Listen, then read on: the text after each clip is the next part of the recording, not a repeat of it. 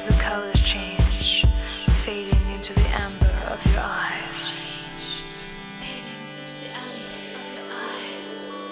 This